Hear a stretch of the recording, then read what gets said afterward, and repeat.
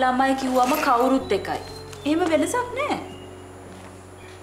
දැන් ඔයාට අපේ දරුවෝ දෙන්නම එකද?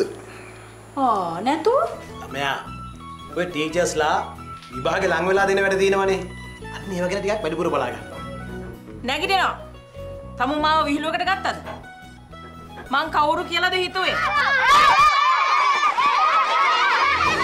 අකුරට යන වෙලාවේ අද රාත්‍රී හතයි තිහට.